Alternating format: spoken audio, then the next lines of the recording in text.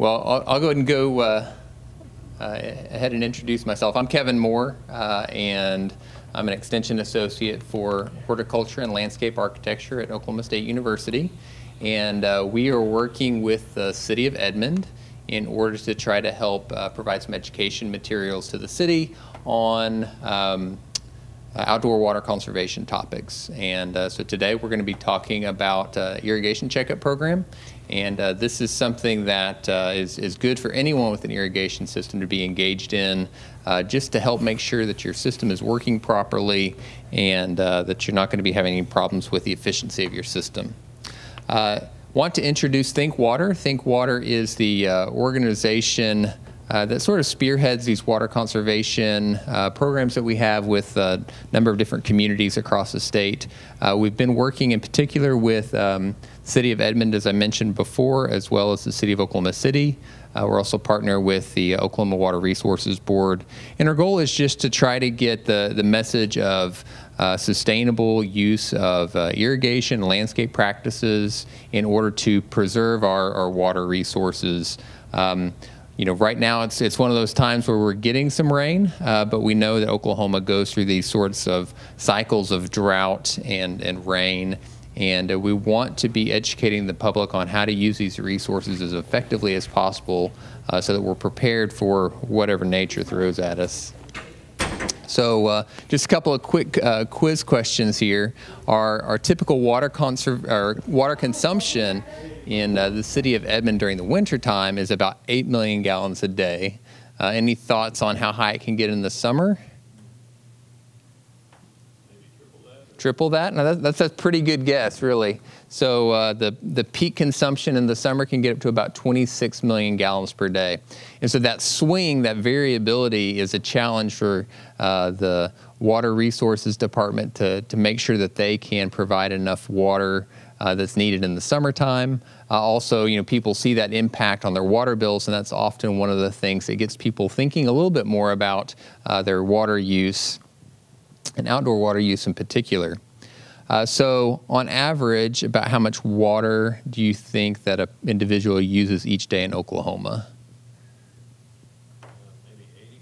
80 gallons 80 gallons a day that, that would seem like a pretty uh, reasonable amount of water it's actually higher than that about 885 gallons per person per day. That's an average over a year, um, but uh, that that is a fairly common uh, sort of level of water consumption that we see.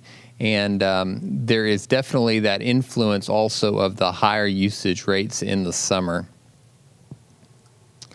So, a few things about water. Um, 70% of the earth, you might remember from your uh, science class in, in middle school, about 70% of the earth is covered in water, uh, but only 2.5% of this is fresh water. Uh, and 1% of that fresh water is surface water, uh, easily accessible. About 30% of that is, uh, is groundwater and uh, 69% of that uh, groundwater, or not groundwater, that fresh water is uh, captured in glaciers and ice caps. So we have a, a, pretty limited amount of water that we're using for our, our drinking water and, and the water that we're accessing on a regular basis. Uh, you and I, we're all about 60% water, and we need water to survive. We're, uh, we need about two to three liters of water each day uh, in order to survive, and we get that from the things that we eat and drink. Uh, but as you know, you can't survive more than a few days without water. And uh, so, water is precious to us. We want to make sure that we uh, continue to have the water that we need in order to. Uh, to grow and thrive as a community and uh, make sure that we can meet the needs of, of uh, Edmond in the future. So, as I mentioned, lately we've seen uh, more of these sort of sites. Uh, we've had a lot of flooding lately. We've had some heavy rains this year. Uh, but we also remember just a few years ago when Lake Hefner was looking very dry. And this difference that we have between the picture on the left, which is about 2013, and in the picture on the right in 2015 when the big drought that we had was broken, we can see how much the the uh, water that we have available in Oklahoma, how that can change. And so, if we look at our precipitation history uh, within Oklahoma, uh, you'll see each of these uh, each of these black dots that we have here is a um, an amount of precipitation that we had for a particular year. Our average is generally uh, about 34 inches of, of, rainfall that we would see in a year. Uh, but you can see there's a lot of variability uh, within those figures. And if you look over time at averages, um, these are uh, sort of five year uh, trends that are shown within the graph. You can see we'll have periods of um, of more rain than average and periods of less rain than, than would be average. So the, the green bars are these wetter periods. Uh, the brown bars are these uh, are these drier periods, and so we're in a little bit of a wetter period right now. Uh, but we know that the the next drought can be just around the corner. When we talk about uh, water consumption mentioned earlier, in the winter months in the city of Edmond, typically about 8 million gallons a day, up to as high as 26 million gallons a day. And the population of Edmond has been growing considerably in the last 20 years. Uh, so we've seen about a 35% increase in the population of Edmond. So we're pushing about 92,000 people in the city now. And this change uh, has, has, required a lot of investment in the uh, infrastructure of the city. Uh, so there's uh, a large uh, number of projects going on right now to meet these water and wastewater infrastructure demands for the city, currently investing over $400 million within infrastructure projects. So that's just a little bit of an introduction. Uh, and so I'd like to invite Josh Campbell to come up now. And uh, he's going to speak specifically about uh, the topic that we have uh, today, which is related to uh, our irrigation checkup program and uh, how you can go about checking your irrigation system and make sure it's operating at peak uh, efficiency. So I hand it over to you, Josh. So today I'm going to talk, like Dr. Moore said, a little bit about the home irrigation system checkup process. And that is just, in a nutshell, a simple uh, three-step process that we've outlined for how to help homeowners go about monitoring on a seasonal or yearly basis their home irrigation systems in order to identify issues and, and ultimately save water. And also July happens to be Smart Irrigation Month, and that is a national campaign um, of the Irrigation Association, a nationwide, actually a worldwide irrigation association that um, links folks from the agricultural industry, the, the landscape industry, um, all of that come together um, and, and they issue um, educational offerings and they, they promote um, smart irrigation during the month of July. And smart irrigation is really about thinking about technology, thinking about um, efficiency, thinking about best practices when you, when you manage water and irrigation. And so we'll talk more about that, um, but I just wanted to emphasize the um, Smart Irrigation Month as we get started.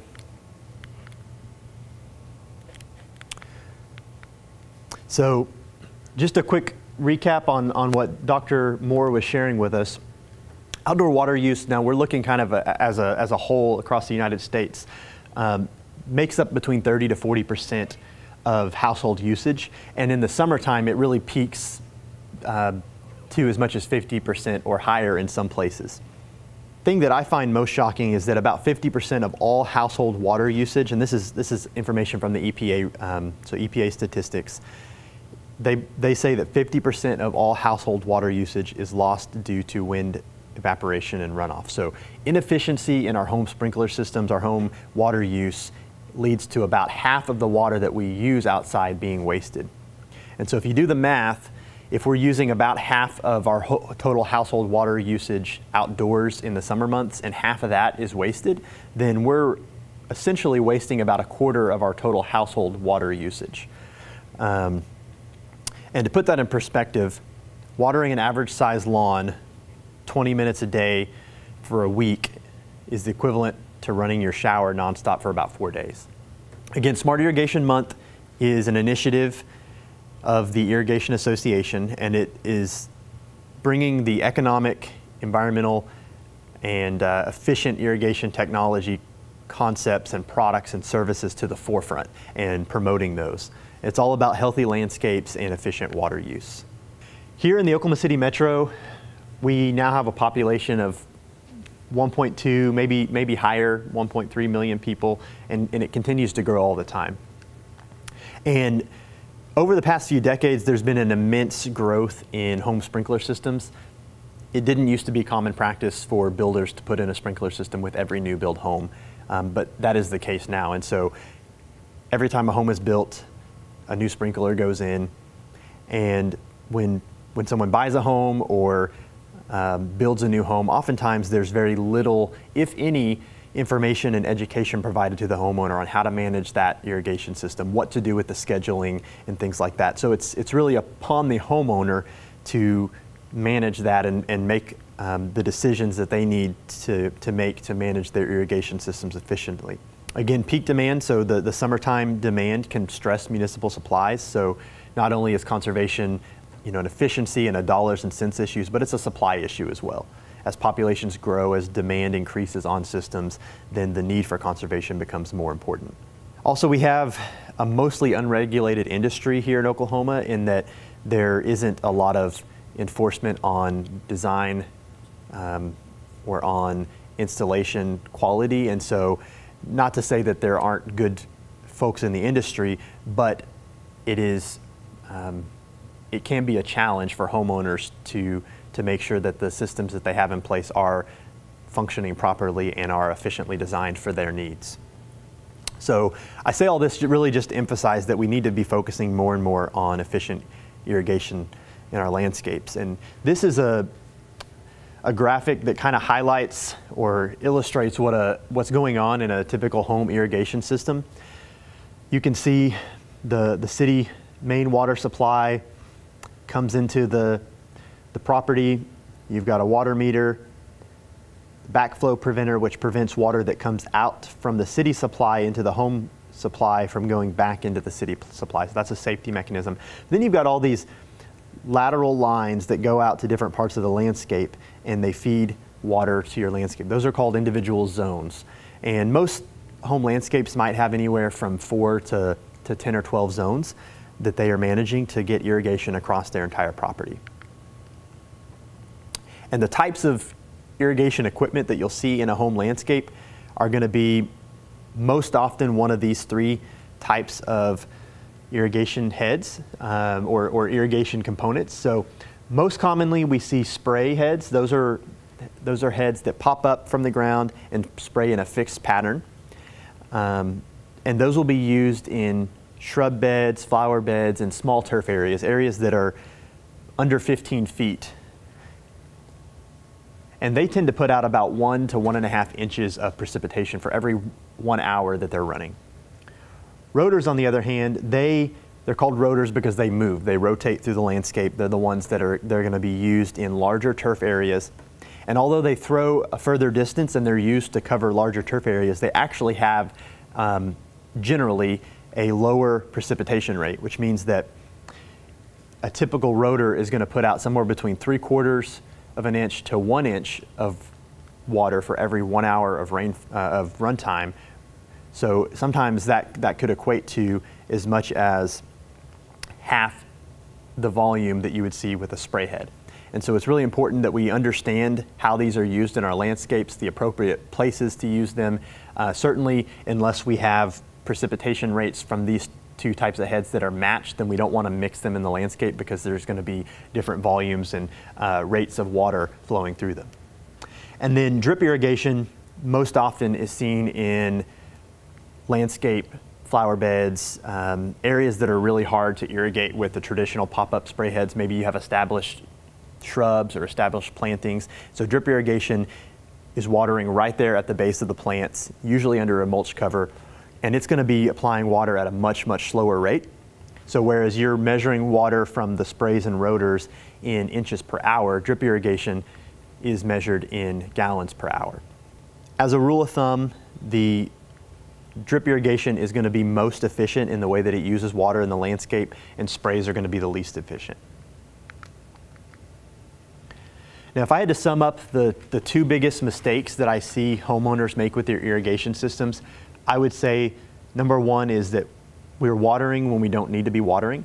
So this, this idea that just because we're on an odd even watering schedule that we have to water every every odd or even day based on our schedule is um, is really a mistake, and it's I under I understand it. We don't want to miss our watering day. We we'd rather err on the side of using water than not using it, but it leads to immense amounts of overuse of water, and especially if our systems aren't operating efficiently, then this can be um, an area that can lead to uh, all sorts of overwater use.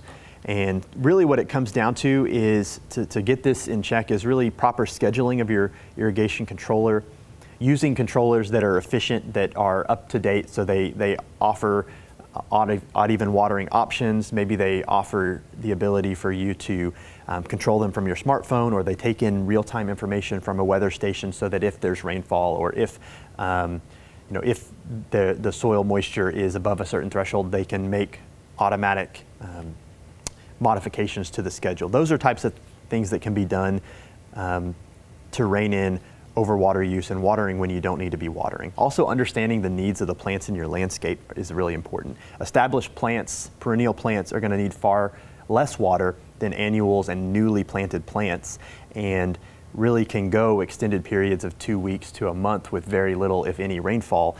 Uh, and so just, just understanding the needs of your landscape and really erring on the side of um, letting your irrigation system water your landscape deeply, but not so much frequently is probably the biggest mistake that I see homeowners make. Number two, I think, is lack of maintenance. I think that it's really easy for us to go about our lives. We, we have the irrigation system set to run early in the morning. Either we're not up or we're getting ready for the day. And so we just don't see the irrigation system in operation very often.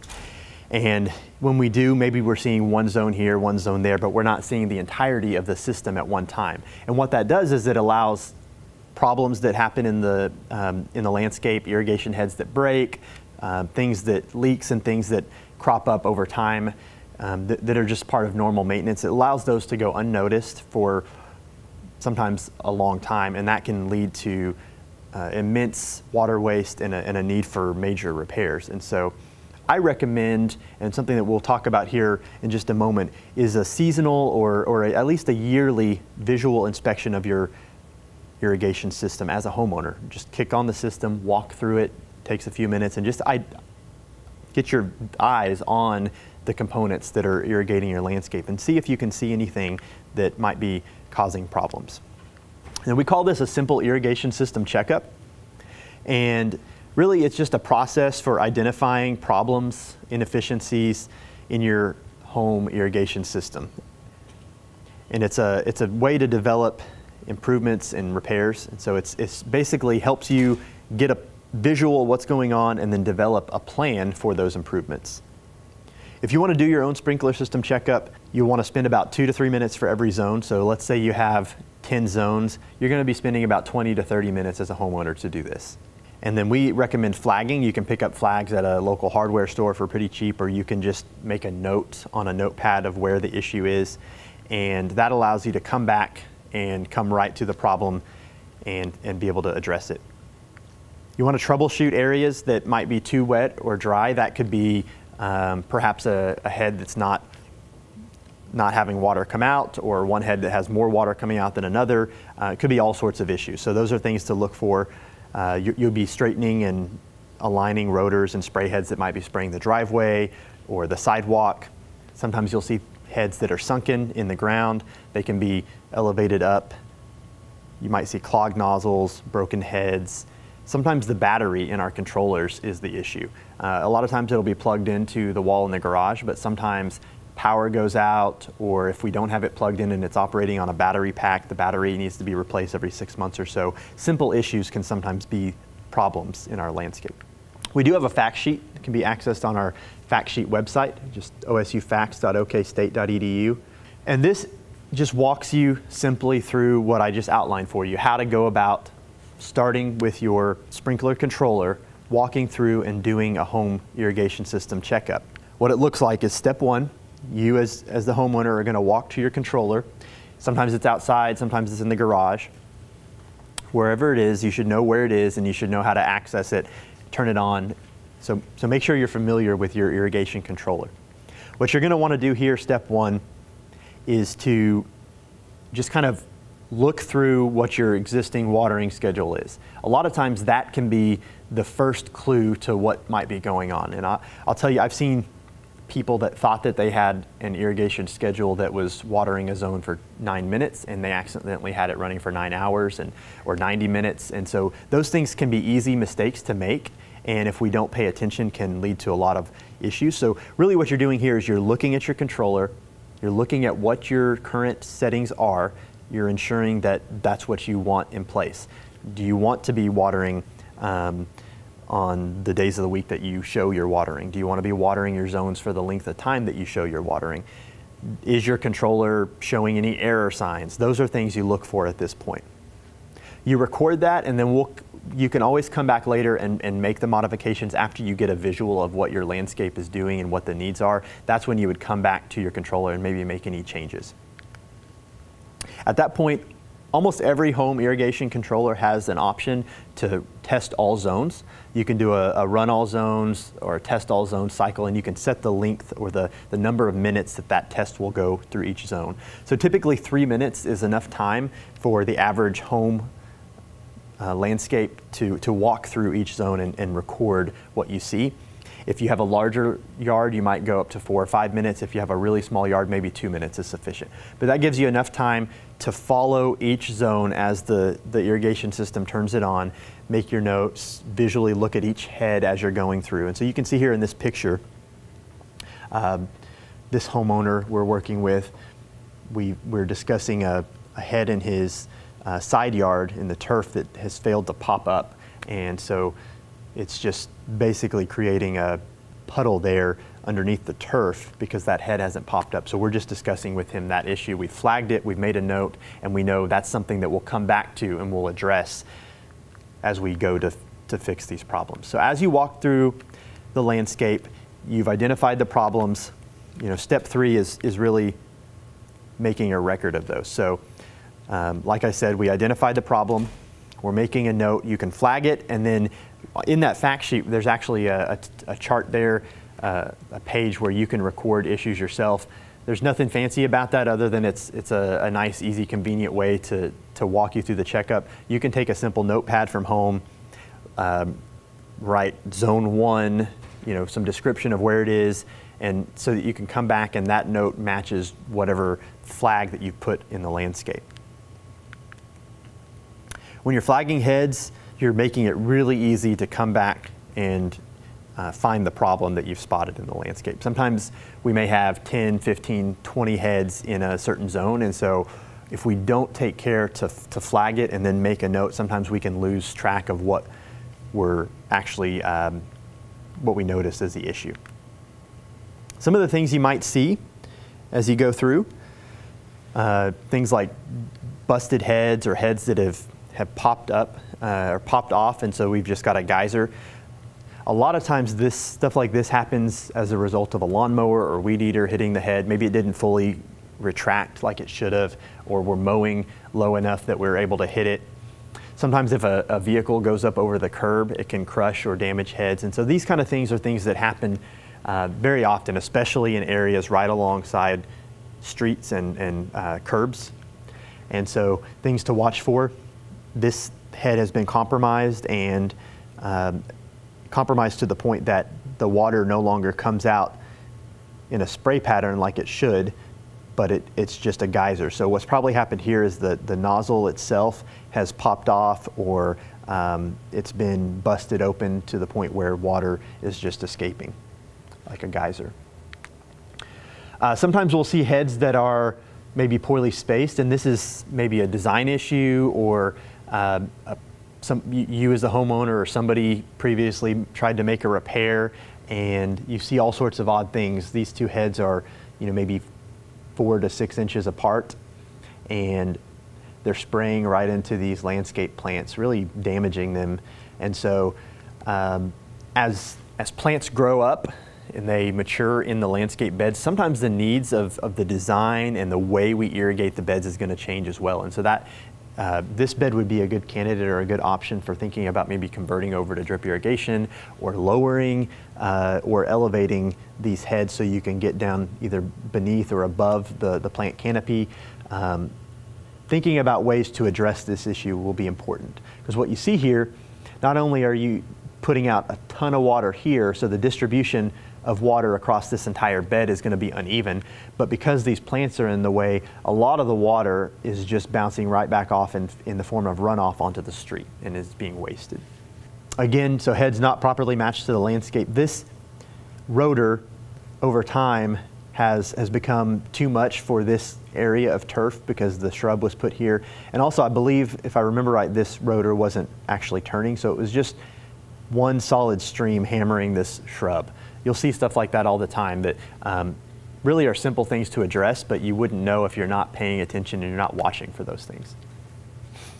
Sometimes over time we have, um, as a result of high pressure or maybe just aged equipment, seals and things will leak or maybe the, the head cap has come kind of loose and so it causes uh, the head to either not have enough pressure to pop up or it's clogged with dirt and debris, and so it, it, lead, leads to some ponding um, and water accumulation right there at the base, which is going to be a big problem in terms of uniformity of water distribution. It might cause a real soggy, muddy, uh, damp spot right there.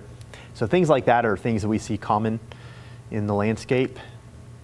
Um, sometimes we see big issues like this where the the water is all coming out of the base here really rapidly. So the, the seal or something, um, you know, is causing a major leak, which is allowing water to just pond right here and, and flow off onto hardscapes.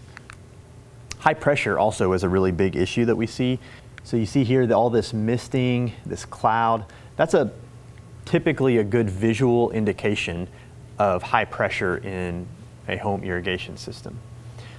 When you have really high pressure, it turns those water droplets coming out of the spray heads so small that they, they basically volatilize. They, they drift off in the wind.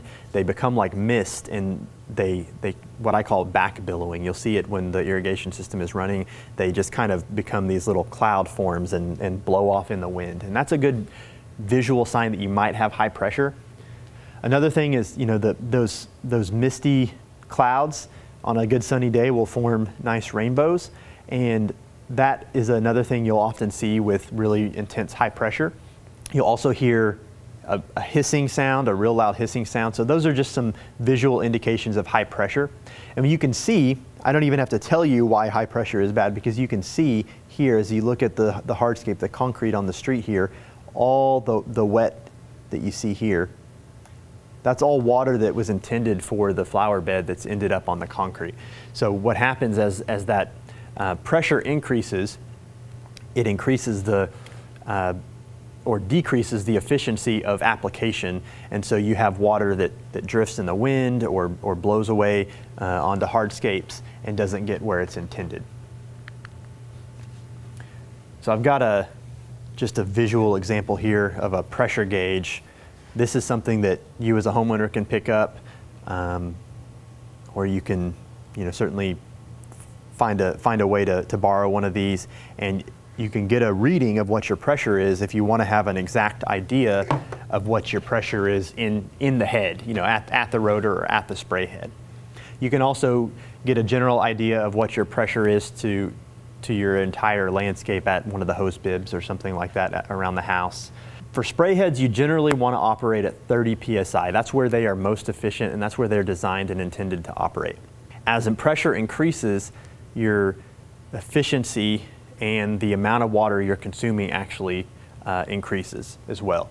You start getting up into the 60 psi range, which is very common here in Edmond, then your, your efficiency takes a nosedive and, and you really are losing immense amount of, of water uh, in proportion to what you, to what you're actually getting to the landscape. So so it's definitely something to to think about when you start getting elevated psi's that high for spray heads. And I didn't mention it, but rotors are going to operate best around 45 psi. They can tolerate a little bit higher threshold of, of pressure um, than a spray head can. However, even even as you start getting into 60 psi and greater on rotors, you, you definitely start to, to see some significant efficiency reduction. Just to recap on some of the, the problems you might see as you're looking at uh, your home landscape system, uh, irrigation system, you might see high water pressure, which we'll talk more about here in just a minute, but is, is really um, a, a, big factor in reducing irrigation efficiency. And, and, it could be a result of bad design or uh, a number of factors. Low water pressure is sometimes seen, but it's, it's not as common as high pressure. Usually low water pressure is going to be the result of maybe a pipe leak or break or bust. It could be a design issue as well where you have too many heads on a single zone and, and so not enough water pressure to, um, to fully operate all of those heads at one time. Rotors, pop-up sprays, and drip mixed in the same zone is something I see a lot. And again, the reason that's a problem is they all have different precipitation rates. So they're all using water and putting water out at different rates and also they have different pressure requirements. And so you're going to have all sorts of uniformity and, and um, uneven water application issues when you mix rotor, sprays, drip, all in the same zone. Probably the most common thing you see is sprinklers spraying street and hardscapes. Sometimes the simple answer is that the rotor or the spray head is just misaligned, and that's that's probably most common. Um, you know, just needing to be adjusted so that it's spraying the intended turf area or flower bed area rather than the street.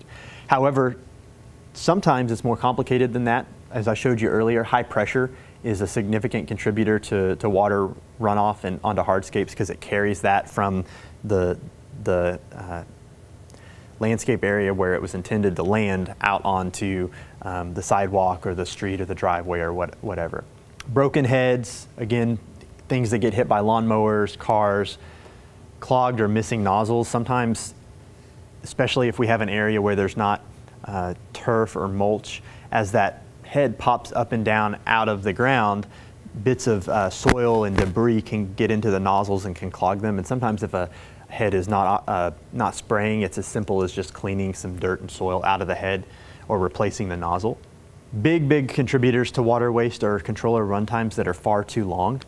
If you think about the soil type of, of your home landscape, if you've got a really heavy clay soil, those particles are so small that they can only take in or infiltrate water at a, a, certain rate, whereas the sandier your soil is, the faster that water will infiltrate. And so understanding the soil type that you have in your landscape will help you make decisions about how long your run times will be. If you've got a very heavy clay soil, maybe your run times can only be five to 10 minutes before you start to see ponding and runoff, and you might have to chop your irrigation schedule up. And we'll talk more about that in a little bit as well. Also, uh, probably an extremely common issue is just watering on the wrong schedule. Odd even watering is not necessarily a, a, direct conservation measure, but it's, it's more of a demand issue. But when you are watering on the wrong uh, days of the week, one, you're, you're probably watering more than you need to be. And um, you're, you're also contributing to the demand pressure that is costing the city of Edmond a lot of money to address. We can help you water your landscape effectively and efficiently while still doing it meeting the ordinances that the city has in place. Some examples here in Edmond. So as, as we've done irrigation checkups across the city of Edmond over the past year or so, we've taken measurements of pressure at most of the homes and we've seen an average pressure of about 50 to 60 psi, which is certainly not, as an average, certainly not the highest we've seen. I've seen pressures, as you can see in this picture, that top out my gauge. When, when you compare it to that, it's not, it doesn't sound like a crazy number to go from 30 to 50 psi or 30 to 60 psi, but the loss in efficiency for every pound of pressure that you go above the, the designed operating pressure, you exponentially lose efficiency. And we'll show you what I mean by that in just a minute. Uh, here in Oklahoma City and, and Edmond Metro, uh, we have measured pressures up to 96 psi at some homes, and then I, this picture, my gauge topped out. Um, the average pressure is about 58 psi as a whole for the, for the metro area that we've seen. And again, the optimum pressure for sprays is going to be about 30 psi, and for rotors is about 45 psi.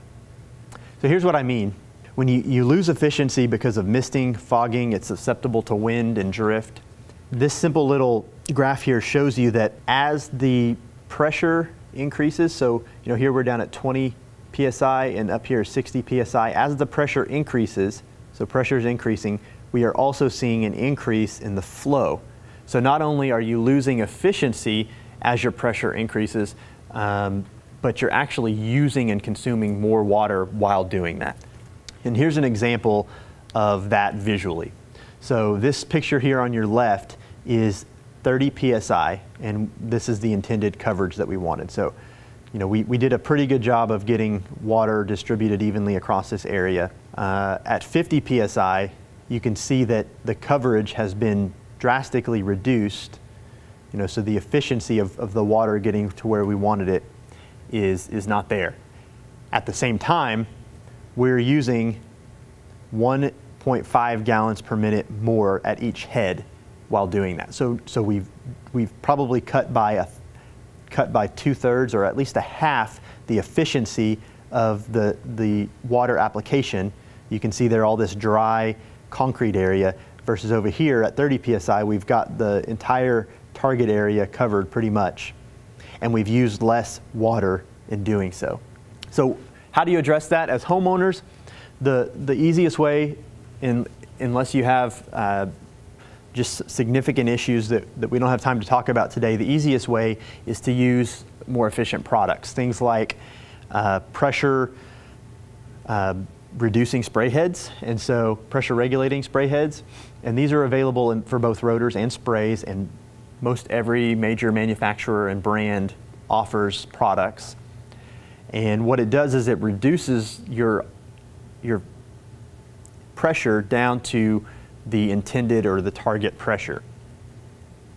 When you look for spray heads, what you're looking for are things that say, um, you know, Pro Spray or PRS, PRX. That PR that you see on these heads of different brands gives gives you uh, the indication that that is a pressure reducing or pressure regulating spray body. So an example of the efficiency savings. So now we're talking more about uh, gallons and dollars that you can see. So at 50 psi, again in that example, we were using 4.8 gallons per minute at every single head that we were operating. At 30 psi, 3.3 gallons per minute at every single head. So that's a, that's a difference of 1.5 gallons per minute per head that we were seeing a reduction. And if you take that and extrapolate it out to a 20 minute runtime, and you're, you're doing that, um, let's say on an odd even schedule or every other day, so maybe 15 days a month, at one, at one head, you're saving 450 gallons per head. That's the equivalent of 26 showers worth of water per spray head per month. So if you have 10, um, 10 or 15 spray heads in a single zone, you do the math at how much water you could save and reduce by simply making uh, addressing issues like this in your landscape a priority. So we'll play a quick little game. I've got a few uh, problems that I want our audience to help me identify and see if we can find a solution. So this is our problem is we've got uh, heavy clay soil or compacted soil. We're running our irrigation system and very quickly it leads to, to runoff because the soil just can't simply cannot infiltrate the water quick enough. So what is a solution we could use to address this issue in our landscape? Reduce the runtime? Reduce the runtime? Yeah. that's exactly right. So we could reduce the runtime or do what's called a cycle and soak where we, we take, uh, let's say maybe we have a, an intended runtime of 20 minutes for this zone. and Maybe we chop it up into two 10 minute runtimes that are spread apart by 30 minutes or an hour or um, every few days. So that's exactly right. We can, we can actually uh, set our controller to reduce the runtime to shorter periods so that we maximize the amount of water that is infiltrating into the soil. All right, here's another problem for you. Uh, hopefully you'll be able to address this after what we just talked about. You've got high pressure, so what it's doing is it's taking your, your spray, your water spray, and it's just basically shredding it to bits and, and throwing it uh, into the wind. What's, what's the solution for this problem? Uh, put the, uh, get the pressure down by using the, uh, the pressure caps, or what do you call the? Uh, yep, that's exactly right. So we can address the pressure in each head by using pressure regulating spray heads or rotors and uh, and or addressing it at the individual zone valves if we need to. All right, here's my final problem, and then we'll, we'll, um, we'll move on. We didn't talk about this, so this one's kind of a, a, I guess, a pop quiz.